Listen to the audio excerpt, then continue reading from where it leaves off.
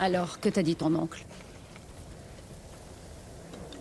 Le seigneur Shimura te permettra de quitter l'île. Après que tu nous auras aidés à reprendre son château. Ce n'est pas mon combat. Yuna, c'est notre combat à tous. Montre ce que tu vaux au seigneur Shimura, et il te récompensera. Je te le promets. Seigneur Sakai, nous partons. Ces samouraïs.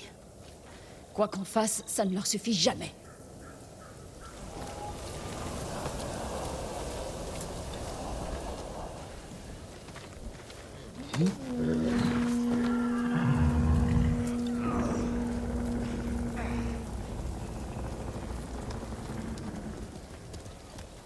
Partons pour Toyotama, Seigneur Sakai.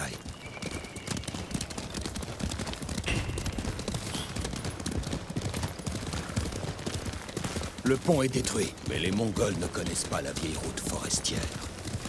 Par ici. Mon oncle, pardonnez-moi de n'avoir pas pu vous libérer plus tôt. Je n'ai rien à te pardonner, Jin.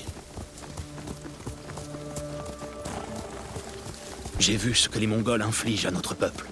Je n'ose imaginer ce que vous avez subi.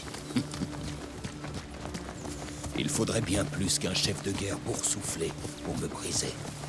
Il a appris notre langue et vous a gardé en vie. Que cherche-t-il? Il voulait que je lui prête main forte pour conquérir le reste du pays.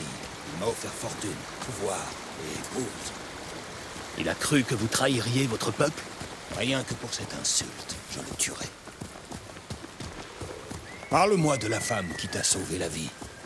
Yuna est courageuse, loyale, et elle sait se battre. Ishikawa dit que c'est une voleuse.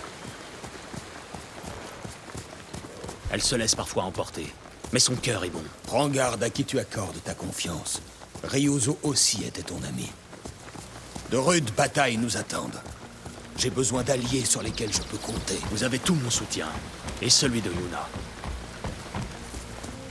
Autrefois, le chaos régnait sur notre île. Ce sont les samouraïs qui ont rétabli l'ordre et unifié Tsushima. Nous devons montrer au peuple que les samouraïs se battent toujours pour cette terre.